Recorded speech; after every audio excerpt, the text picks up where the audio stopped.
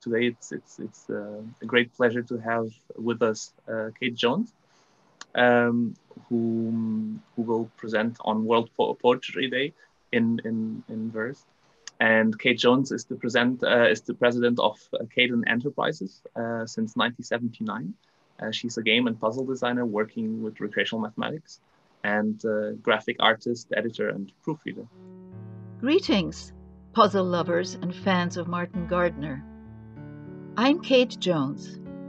I've been designing and making puzzles and tilings for 41 years, inspired by Martin's writings about pentominoes. My specialty is a category known as polyform puzzles. It gives me great pleasure to tell you more about them in this presentation for the G4G Celebration of Mind. This talk was originally prepared for 2020, and I'm delivering it on the first day of spring 2021. I call it a periodic table of polyform puzzles. And just for the fun of it, it's written in rhyme. I'll be introducing you to 12 different styles. Here we go.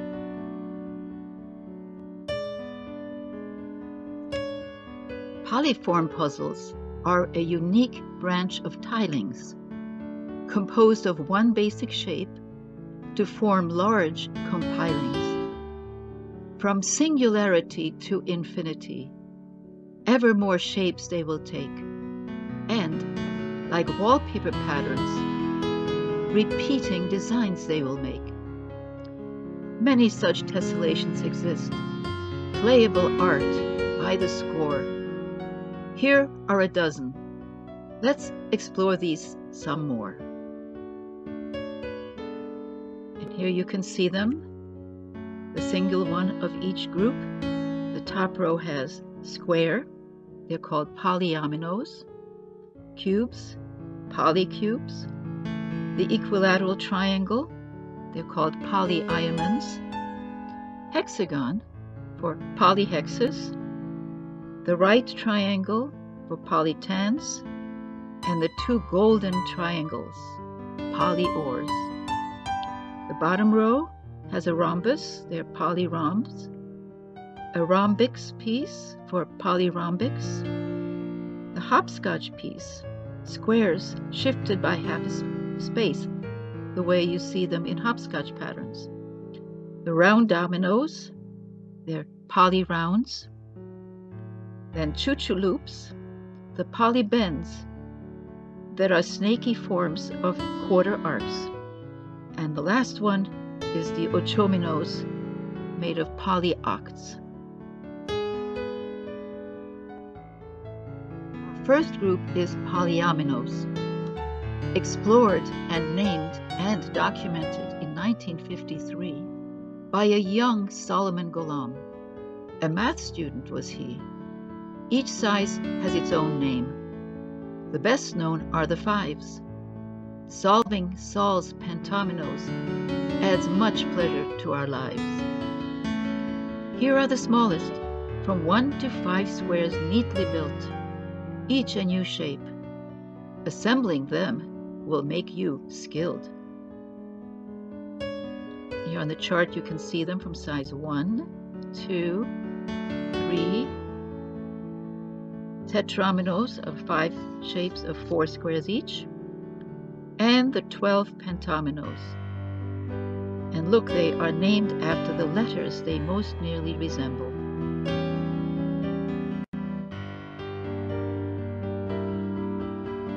The more squares we join, the more shapes will form. Each level grows to evolve its own quorum. You can't predict how many. Each builds on the previous. Combinatorics can be so devious. There is no end. Infinity's the limit. For playable fun, to human size, let's trim it. Here's how many, from size 1 to 8, computers define.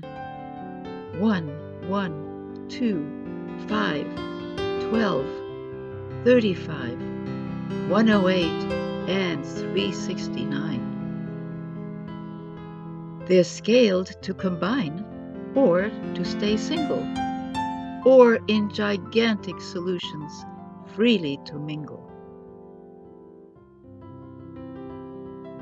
So here you see them upper left, sizes 1 through 5, called poly 5. Below that, the hexaminos, called sextillions. In the lower left corner, all the heptaminos. And on the right, the big three-parter containing all 369 octaminos.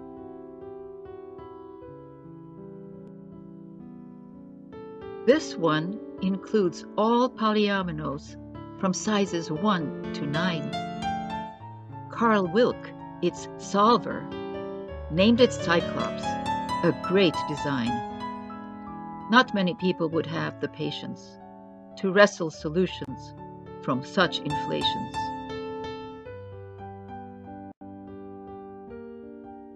Now for the polycubes. We call them quintillions. Not merely squares, but cubes, fantastic figures make. The pentacubes, both flat and stacked, good thinking take, their 29 strange shapes in countless patterns to connect. While hexacubes, all 166 of them, a giant cube erect. We'll show you that one on the next page.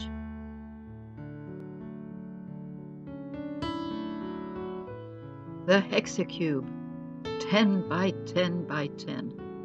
This is our grandest puzzle. The hexacube we craft from wood its pieces will amaze. Its treasure chest unfolds on hinges in 11 different ways.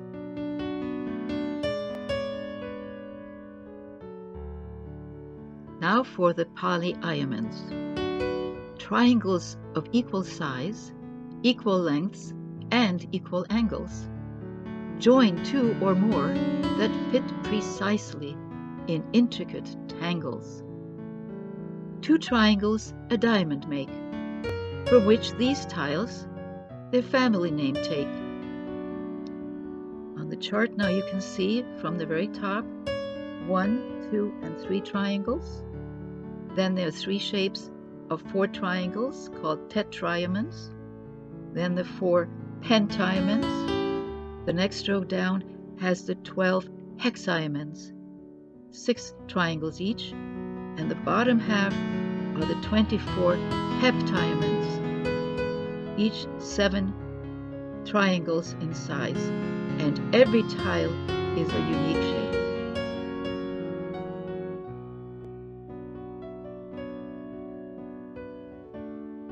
Here are the polyiamonds, neatly arranged in frames. They're the iamond hex on the left, Center is the iamond ring. The large one is octiamond ring. Two sets in framed trays run the distance. From one to eight triangles, each piece an instance of a different shape, each size by hue and coded, and scaled to mix and match as challenges are loaded. One little subset in round tray is just the sixes. A standalone so hard, you'll marvel at its trickses.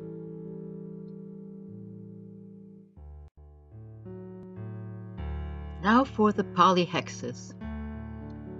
Hexagons from 1 to 6, like beehives cluster. Their perfect patterns please, with shapes and luster. Hundreds of figures to solve, then play the games. And smile when you see how letters are their names. So in the chart you see top row has the 1, the 2s, the 3s, and the 7 tetrahexes made of 4 hexagons each. And the bottom has all 22 pentahexes all different shapes of five hexagons. On the next page, we'll show you the 82 hexahexes.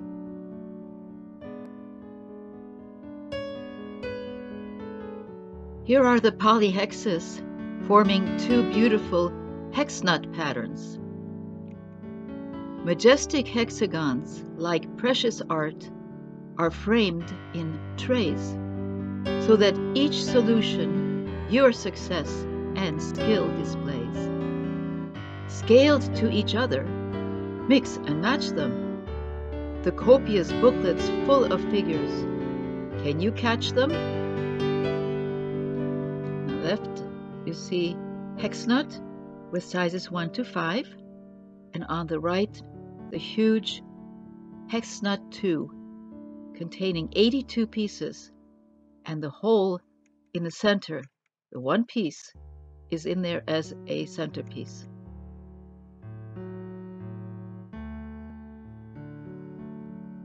Now here are the polytans. Built of half squares like Tangram's famous pieces. Their numbers can go on forever. The math never ceases. We only go from 1 to 6. Just look at their proliferation. These are among our toughest puzzles. No exaggeration. So on the chart you see the top, singles, doubles, and triples. Second row, has all the tetratans, four triangles each, and the bottom half are the 30 pentatans, five triangles each. On the next page, you'll meet the hexatans.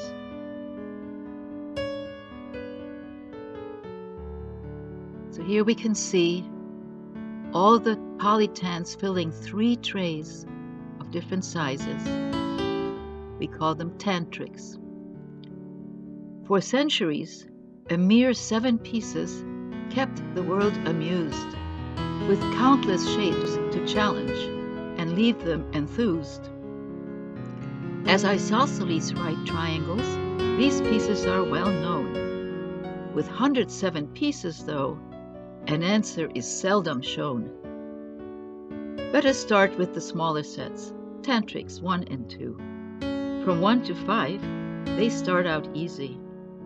The small ones you can do.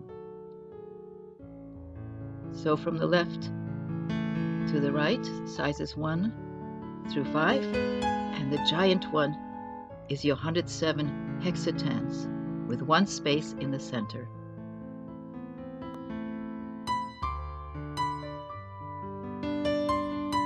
Now let's look at polyores.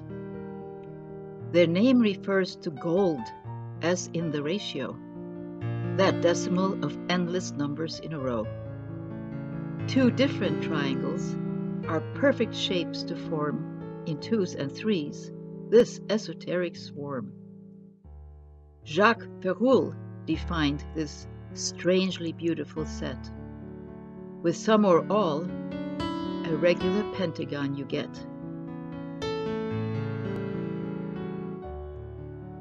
The polyores form La Stello, a beautiful pentagon. Now see this perfect star at left below, wherein all triangles their ratio show. Then marvel at the full-size pentagon at right. Can you separate the blues and white?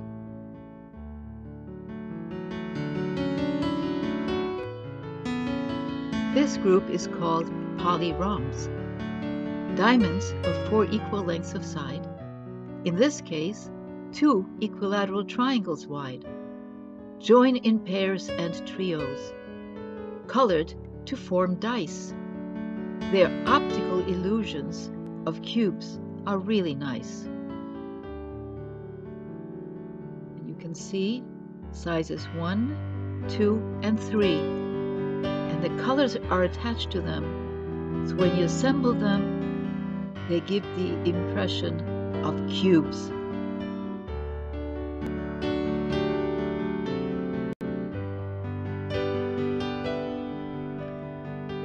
Now here are the polyrombiks. Dissect a convex polygon with even numbers of sides, with parallel lines into all the rhombuses it hides, and find it yields in singles and all possible pairs exactly the pieces needed to fill out the original shares. Rhombic circle tilings, inventor Alan Schoen declares, are a universal principle at any scale one dares. Here you see the pieces that make up a 16-sided polygon, the four singles or keystones, and the 12 pairs. Pair them in every possible concave way and get 12 rhombics twin tiles. The 16 pieces can form the original polygon in thousands of ways and win smiles.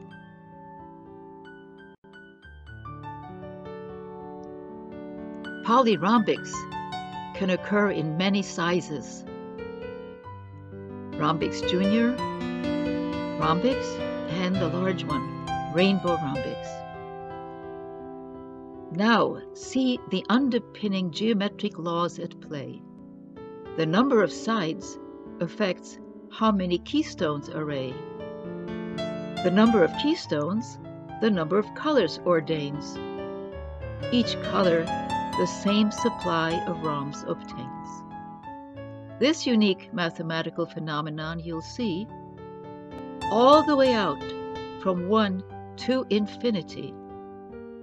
They all have ladders, top to bottom. Even the smallest one has got 'em. So at the left, you'll see the eight-sided polygon, 16 sides in the middle, and the large one has 24 sides.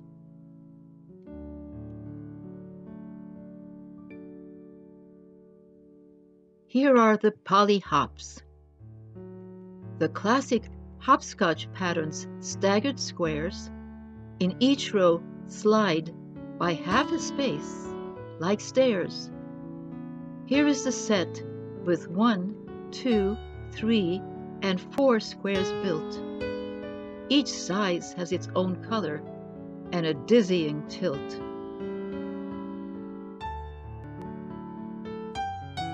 Polyhops pieces make the hopscotch set.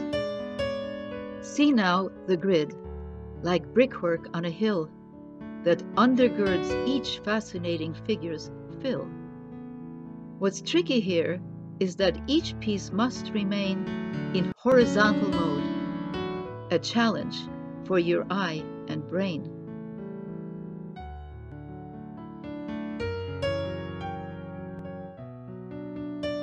Let's look at poly rounds.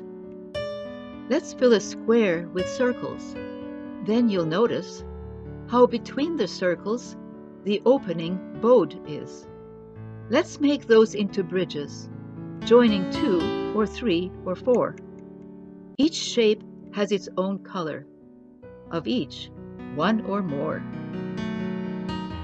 So here you see on the left, the smallest one, round dominoes with 28 pieces. In the center, super round dominoes with 43 pieces. And finally, the largest one, grand round dominoes with 83 pieces.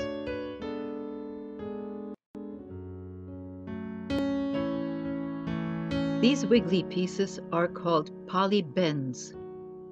They're made from arcs of a circle. Cut a donut in four wedges. Join those arcs by their edges. Place them to build loopy tracks. Symmetries make you relax. Four sizes, each in its own hue, encloses islands. Can you do?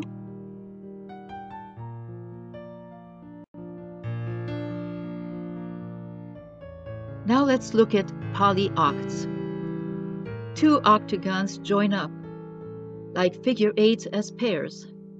Now, give each pair, from 0 to 6, some little squares to help make corners. 24 all different tiles can fill the plane with colors separated, as you will, or color groupings, neighborly affection. A work of art, each pattern's a confection.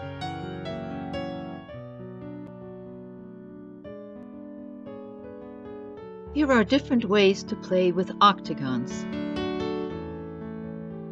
To tile the plane with octagons and leave no hole, you need those many squares to play a helping role. These three treat octagons in different styles, as pairs, triangulated, and edge-colored tiles. So on the left you see ochominos, made with the polyoct pieces. Many of them look like little cartoon characters. The center triangulates 20 tiles, each cut up into six triangles. On the right, Doris, with 24 tiles with every combination of three colors on their edges.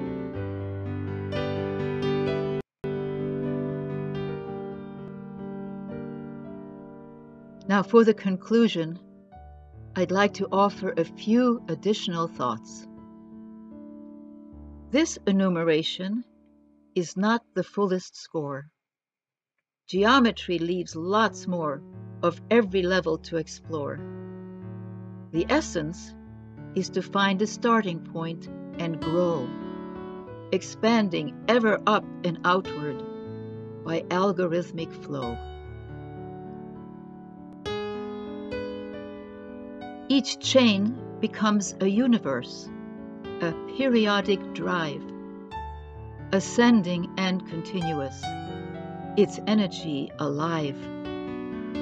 Each step combines from previous stages, evolution's code, and at each step we can dissect it back to its first node. Something there is in human minds that cherishes the new, that sees the beauty of emerging order, that is good and true. That's how we build a consciousness, no end in sight, and how we build the future in growing wisdom's light. Every singularity longs for an endless goal. So, mathematics models the universe's soul. Now let us trace one further, wider mega thought above and call the universe's combinatorial joinings love. Thank you for watching and listening to this presentation. If you'd like to have a PDF copy, please visit www.gamepuzzles.com slash periodic.pdf. And while you're in there, look around the whole website, www.gamepuzzles.com, and see over 200 beautiful original games and puzzles for the joy of thinking. Thank you.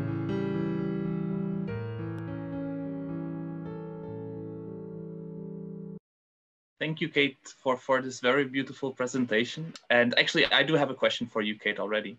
All right. It, it's a bit of a, of a personal question. Um, what what was the first time or how did you first encounter um, polyforms? I read a book by Arthur C. Clarke. Look, it's right here. In it, Clarke wrote about pentominoes. And there's a little bit story back behind that, which is the reason he wrote about pentominoes is that he, Arthur C. Clarke, had read about them in articles by Martin Gardner. The connection is Martin Gardner to all of this. And at that time, they were making the movie 2001, The Space Odyssey. And Clarke suggested to Stanley Kubrick that they should have Pentominoes as the game that the astronaut played against Hal. And they even filmed it. They, they, and then they decided to scrap it because most of the people in the world wouldn't be able to relate to Pentominoes. Everyone knows chess. So they went back to chess. So Arthur was a little bit put out by this, and he wrote, I know this because he wrote to me about this. Um, he decided he would write them into his next book in an indelible way. If you ever made a movie or something about Imperial Earth, the Pentominoes have to be in it. Well, I picked up this book in an airport newsstand in the Middle East, and I had never heard of Pentominoes before. So that was how, that was my first acquaintance.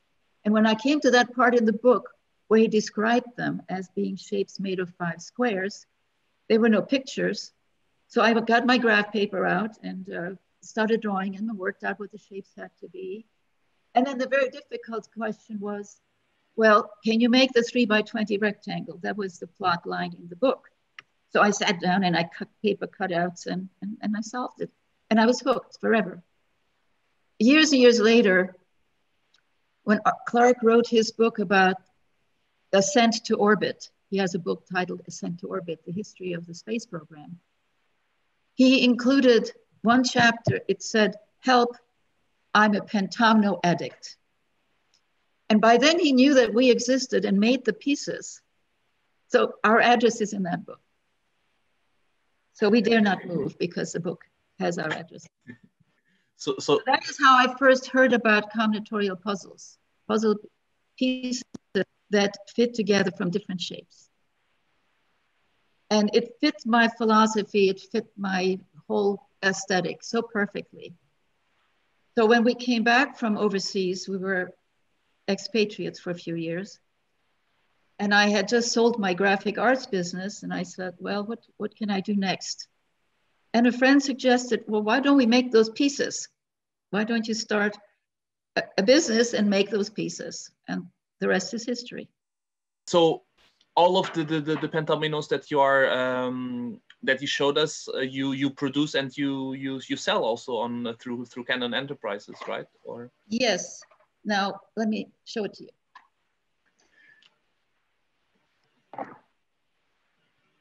Here are some of the pieces, as you see. We make them out of maple. They're laser cut. This is my logo. Why did I pick the W as my logo? Is a good question. What is different about this piece that doesn't exist in any of the others? I'll let you think about that. So anyway, we make them and it turned out that they were three-dimensional. So you end up being able to make blocks and beautiful other shapes. As well. What is different about the W? So in the in the comments, we already have someone uh, throwing in a guess, which is um, symmetry? Question mark. Um, and we already have another question by uh, by Yossi Alran uh, in the Q and A section. So I'm encouraging everyone else if, if they also want to ask specific questions. Um, and Yossi asks, when you say it took uh, 45 hours for solution, is that by hand or do you use a program, a computer program? It's by hand and everything I have done has been by hand.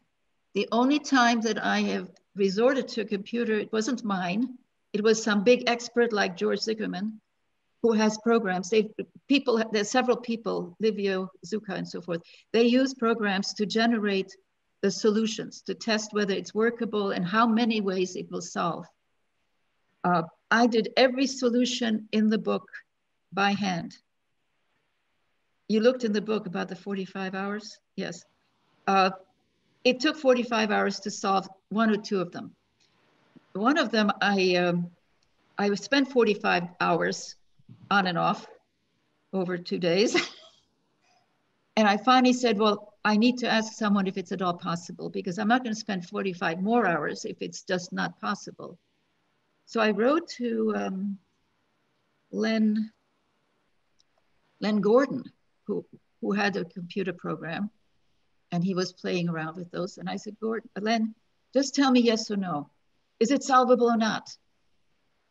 And in two days, I get back six solutions. Six! And I couldn't even find one. So that was the one moment when I had, had to have help. But no, I think it's much more fun to do it. And I test everything we make because my philosophy is we design things for human beings. So it has to be fun and doable by human beings. I'm not designing things to amuse computers. I grant you, I have the greatest admiration for people who know how to program solvers, solving programs. Absolutely fantastic. That's a puzzle in itself. But for physical pieces that we have, somebody was saying symmetry, look at this. Would the computer know what symmetry is? Well, maybe they can teach that too. But you know, these two make symmetry. So that, that question, uh, whether the W was my logo because it's symmetrical, that's only part of the answer. There's another answer. So, so the, the same person also added, um, Alan Daltis um, is also adding that um, doesn't uh, have that, that the, the, the, the, piece doesn't have uh, chirality or flippability to, to have left-right differences. So this is the comment. Um, I'm, hope, I'm hoping I'm, I'm doing, doing it justice reading it out. That's a very sophisticated answer, but that is not the ultimate reason. so people can keep on puzzling on yeah. this. Yeah. Um, what, what, does the W have or not have that all the others do? So I, I, I was going to, to, to, to, to go back to, to the um, to design process of, of your of your pieces. Um, and I actually wanted to ask you if you, you could us perhaps one one of the beautiful designs that we see in, in the back, uh, just behind you um, I don't know, perhaps a polybend or, or um... well, let me insert here one explanation that comes from reading the book by Clarke and to building all these puzzles. See, once we made the pentominoes, the original set, and we couldn't call them pentominoes because at that time, Solomon Golomb, who had done the creative work, he owned the trademark on the word pentominoes. So I said, no, I'm not going to transgress against that. But there's another, pent means fives, but quint means five. So we went with quintillions. So we named our series of pentomino sets quintillions. Very soon after that, uh, Solomon lost his trademark. He lost the right to the trademark because it had become a term in the language. When something becomes used by everyone. And it became a mathematical term. And I consoled him. I said, look, okay, so you lost the trademark, but you added a word to the language and that'll be forever. So, uh, so in trying to sell our, sell our puzzles, our first notion, my first notion was you sell to stores and then so stores sell it to the people. And I went into a game shop and they explained to me that well, they needed something people would come in and ask for that they had already seen. And mine was sort of new and nobody knew of it. And if they would have to explain it to people, they couldn't have their people spend so much time explaining the whole thing.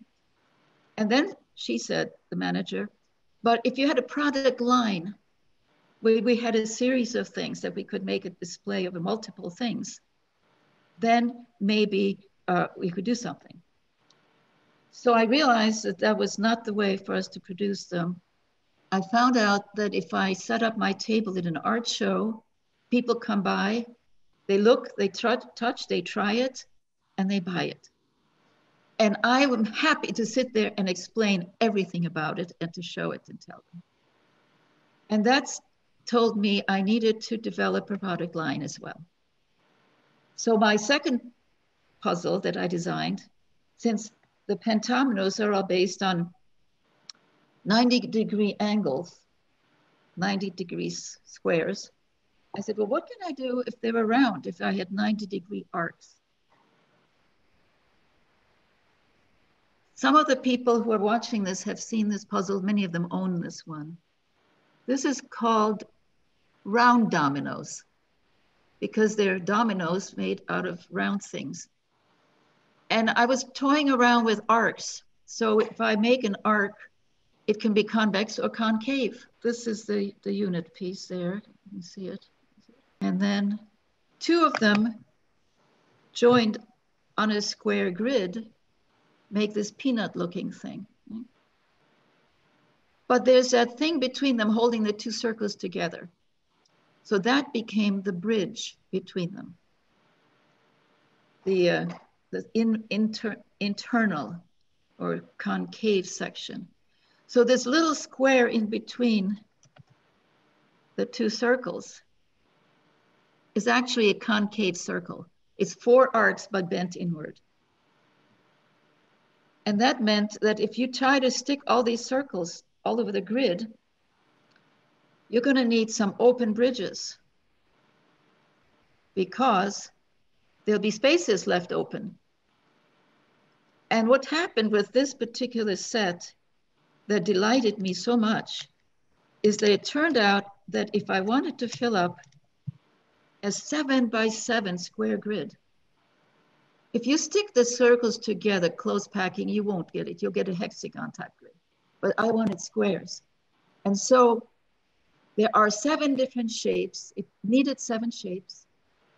And there's seven of each. And they exactly tile a seven by seven grid. So it was such perfection of balance and completeness. So we started making these. By now I had two products. And then some other ideas came up and some other ideas came up. And it took a few years before I realized that this is a whole extra science of combinatorics. I'm not a mathematician. Let me backtrack right immediately. I'm not a mathematician.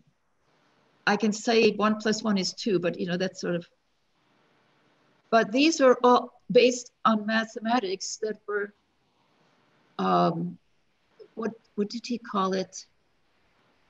They are not, they're not technical, they're intuitive. Just like M.C. Escher, when he was making all those paintings and patterns, he said, well, he had friends who are mathematicians who used to explain to him what he was doing. And that's kind of where I am. Uh, I learned enough to be able to do this. And then, of course, I always expand upward from there. And there is a set which is not in the room that has next size up it goes up to size four circles connected. And the grandest one, it was in the uh, talk there, the grandest one, the grand round dominoes, goes up to size five. And it could keep going and going. I, I've tried it up to six, but it's no longer fun. It has to be fun. If it gets to be too difficult, it's, it's too much. So that was the story of how I started to develop the product line. And then after about 20 or 30 years, I realized I had a whole bunch of things that had a subcategory of polyform, where if you take a tiling, like a wallpaper tiling, a grid, of which there's 17, I'm told, and I almost believe it, you can make sets of pieces that are all differently constructed out of the parts of the grid that is what this is all about, is that you take the grid and you say, what are the basic pieces, the keystones? Some people call them fundamental regions, that's a mouthful. And how do they make a set of all related shapes that then work together as a group? So it's a family, every member is different, has a different personality, has different requirements, but yet you can, with some determination, get them to go together to make these incredible patterns. You notice that this is symmetrical. This is, we're, very proud of this guy because it's almost perfect symmetry. See how this, the two sides here and here are not, but. So one of the first things with any new prototype where I've created the shapes and say, okay, these are the pieces that belong. Now what can they do? And how can they fit together? Can we get them symmetrical? Can we get them colors together? Can we get them colors apart? There's a whole checklist of things. Each is a unique personality. This is also based on rounds, but instead of solid circles, they are quarter arcs. I was showing them in the talk as well. So here's a nice pattern that has symmetry of the shapes. There are closed loops, there are open paths. So this was called choo-choo loops. Why did I call them choo-choo loops? I have a little story to go with that. We have a, a dear friend whom I have never met in person, but she had a son, a young boy, who loved our puzzles. So he used to play with her collection. And one of the things I had made are teddy bears. There's a puzzle that has all different teddy bears with different poses. So we're talking combinatorics of poses and uh, shapes. And after he had been playing with those for a little while, she says, What else have you got? And I said, Well, I don't know. What, what are you guys into these days? She says, Well, he likes trains. Trains. Well, I like trains. My daddy was a railroad engineer, mechanical, not driving. And uh, so I thought, well, we need train tracks. How can I make train tracks out of puzzles, uh, puzzle pieces and have them be combinatorial and have them do this and that? And so I toyed around with the tracks you see here. And I sent uh, her, her name is Lee Lucky Do. She's probably listening. Uh, I sent her one as a sort of a beta tester. I said, let's see how he can play with this set. And I have a picture of him. He's just totally adorable, where he's making all sorts of designs. And one of the pieces he used to have a mustache, like a mustache. So uh, that's how it grew. One idea led to another, hexagons, right triangles, the, the ones I was showing you, the 12 there, but there are many more. And almost any shape, if it is a tiling, if it makes a wallpaper pattern, a symmetry group, will lend itself to being separated into pieces and combined into different shapes. I, I, I, I bet that there's a lot of stories behind of, of all the, the puzzles we see in the background. Uh, and I'm sure people will be able to find more information on on on them on on your webpage, right? It's on. Yes, sure. One of the things I'd like to add is about my personal philosophy. That what pleases me the most with these polyform sets is completeness. Completeness. That everything is there, just like the the, the table of elements the periodic table of elements, which suggested to me the title for this talk. How are all those elements made out of different combinations? I had chemistry in school and I wanted to be a chemist someday, never worked out, but I loved it. And it, it struck me that here we had at the time about 100 elements, although Tom Lehrer did tell us that there were some that have not yet been discovered. Some of you know the song. Uh, so that is what is so fantastic to me is that you can find completeness, which will then integrate into something beautiful, coherent, useful, whatever the other virtues are that you want to lay on it. So completeness. Speaking about completeness and and and about um, there's a question in the Q and A section uh, by Dale Hodge, and uh, he asks. Um, Fibonacci sequence appears in nature, sunflowers, etc. Does the poly, uh, polynomial sequence 1 to 8, and then he lists it out, 1, 1, 2, 7, 12, 35, 108, 30, uh, 369, appear in nature, mathematics, or elsewhere? The sequence that I named was the number of pieces at that size level. That is not a Fibonacci series. It just pretends to be. It, it seems to be. Uh, there is no way to predict how many will be on each level. For example, there's only one, one, one square. There's only one domino.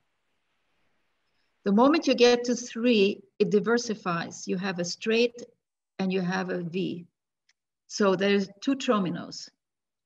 The only way you can figure out what is the next level is to attach another square on each of them in all possible positions. Get rid of the duplicates, and it makes five.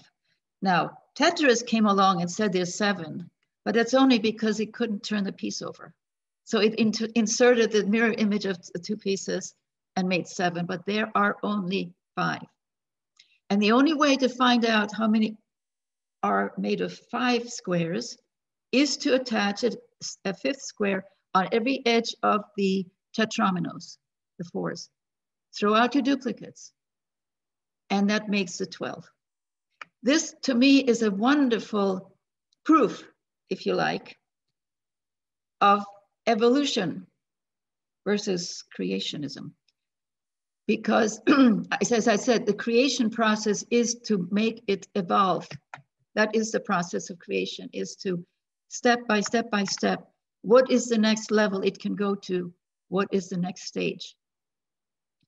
But you cannot get it from a mathematical formula or an equation or an algorithm that says, okay, so eight squares will make no, you can't. The only way to get it is out of the seven. They, Dale Hodge is raising his hand to, to I guess, follow up on, on his on his question. The real question is um, the number sequence 1, 1, 2, 7, 12, 35, 108, 369, and whatever would be next with nine polyominoes. What, does that appear elsewhere in math, in nature, or in in electricity. I, I don't know. I don't know where it might be, but does that appear in other places? Not that I know of, except a lot of people have the whole table of them up to about 10 or 12 or 20, uh, going into the billions and trillions uh, on their websites. People have figured this out by computer, how many members, 1285 would be the next one up.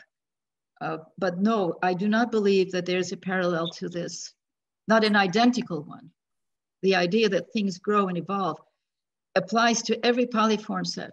Every polyform set, you can say, how many will the next one go to? You know, I always said the, the proliferation on one of those. It surprised us at a level four already. It was so huge that I didn't want to go to the next level of five because then it overwhelms you. It just, as I said, we wanted to keep it to the human size, but mathematically, you could work out the sequence for every polyform set, it'll be unique and different to that, to that set. I need to say something about the music that played uh, behind my talk.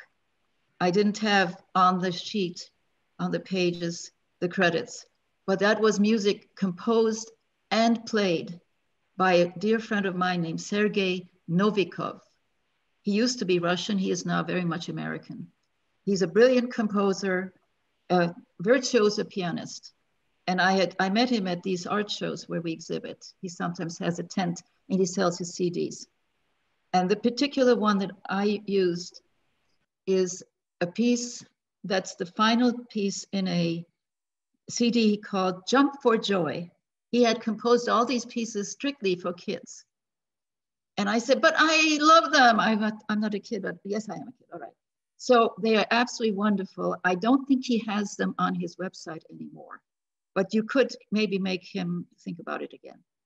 Uh, this was the 11th track of things that were very lively and wonderful. And this last one was mellow, and it's a 10 minute piece. It's supposed to help the kid go to sleep. The idea is if you go to sleep. And the title of it was, Please May I Stay Up a Little Longer? That's the name of the song that I played. Uh, we just have one last question coming in uh, from Alan Bates. And then there's a big, big, big puzzling behind the, the, your logo, and two or three uh, solutions have been proposed. Uh, but mm -hmm. first, a question: uh, You often present uh, at art fairs and Renaissance fairs. How do you explain the interesting over, overlap between those interests and your game puzzles? Well, the art shows and the Renaissance Festival are absolutely perfect markets for me to show and sell. I can't sell any other way except on my website. And really, because our work is so unusual, people will not be able to look at just the pictures in the website and know exactly what it's about. It's because I sit there and I let them handle them and show and play, try it out, see how you do with it. That is what makes the customers interested. Now, as far as art, I think that what we do is a form of art. And there have has been much said about math as art. Math as art. And actually, I started out as art and then later found out that I could plug the math part into it as well. Because math, the word math still scares people, even with our very advanced technology nowadays. There are still people who are afraid of math. And so if I say this is math, I, I do now say playable math. I've, I've, I've actually registered that as a trademark, playable math, that's me. Uh, because it won't scare them if it's playable, right? But math is the purity of it. It's what I said in my poem. Mathematics is the language of the universe. And so I have a huge respect for it, even though I'm pretty much an ignoramus on the technical parts of it. That's how they get combined. That art, art shows beautiful designs, the puzzles make beautiful patterns, and they can make many patterns. It is not a single answer puzzle. This is one of my criteria is that every set has to make many different things. So you have open-endedness forever after. If it were just a single puzzle that's so hard, you just do it one time and that's all there is. So what? So what? That's fine if you like that sort of thing. But for the long run, a puzzle that you can create into many, many designs. It's a little bit a parallel to the human mind, which I often talk about, is how you can have an idea and then your imagination will create new things with it. See how imagination is using your mind to form different things. And we need that. We need variety. We need diversity. We need uh, creativity. And so this is, this just turned out to be perfect um, medium for me to work in. So that's why it's now 41 years and I'm not quitting. Lucky for us. Um, so to, to finish with, with the, the, puzzle you, you left us with, I think everyone is very interested in, in knowing what, what makes the, the, the Kadon Enterprises uh, logo so special. And some, some guesses have been that it uh, is the well, only- Let me do the guesses before I tell the answer. So some guesses are that it's the only uh, pentomino piece which can be made up of all other pentomino pieces. And the other guess that I, I found in, in the in the chat, I didn't I didn't fact check that one.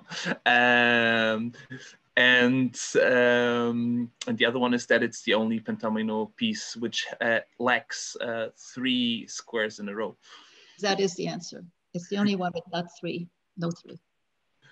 So it shares four cubes with all all but the eye. The eye doesn't share, but all the other pieces have four in common with the W. It is also symmetrical diagonally. It is the letter E, it is the letter M, it is the number three, and it is the W. And we call it the W because Solomon Golomb named it that. But that is correct. That was that is the uniqueness of this piece. It does not have three. All the others do. I think with this we we come come to the end of of uh, the presentation. So thank you so much, uh, Kate, Kate Jones, for, for this beautiful presentation. And uh, people can follow up with you through your website, I believe. I think this concludes our presentation for today for World Poetry Day. Uh, again, Kate, uh, I cannot thank you enough for, for the very, very beautiful um, presentation, which which mes mesmerized all of us. And and yeah, thank You're you. You're too kind. You're too kind. But thank you for your gracious comments and. Uh, on the website, there's a whole bunch of things you can look at other than uh, just having things for sale. There are lots of different features, articles, stories. Thank you once more, Kate. And um... my enormous pleasure. And uh, I hope that uh, we'll see people later again somewhere, sometime. That you, all of you, please stay well, stay healthy, stay safe, stay amused, keep your brains going with puzzles. Thank you, Tiago. Beautiful, beautiful. Thank you very much. Bye-bye. Bye.